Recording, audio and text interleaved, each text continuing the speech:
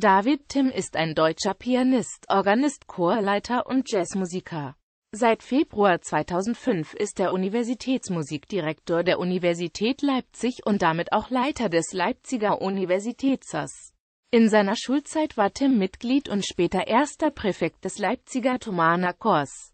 Nach dem Abitur an der Thomasschule studierte er 1989 bis 1995 an der Hochschule für Musik und Theater Felix Mendelssohn Bartholdy, Leipzig.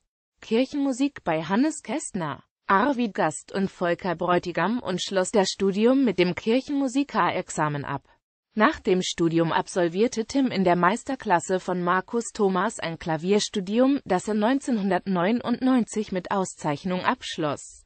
1996-97 weilte er zu einem Studienaufenthalt bei Karl-Heinz Kämmerling am Salzburger Mozarteum.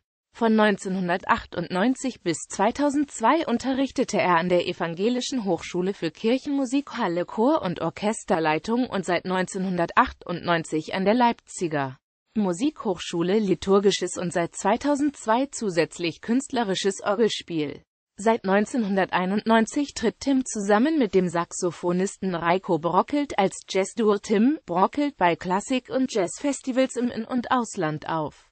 Zusammen mit dem Saxophonisten Frank Nowitzki gründete er 1999 die Leipzig Big Band und war 1999 bis 2006 musikalischer Leiter des Leipziger Vocal Ensembles. 1997 wurde er beim internationalen Wettbewerb für Orgelimprovisation in Schwäbisch Gmünd mit dem ersten Preis ausgezeichnet.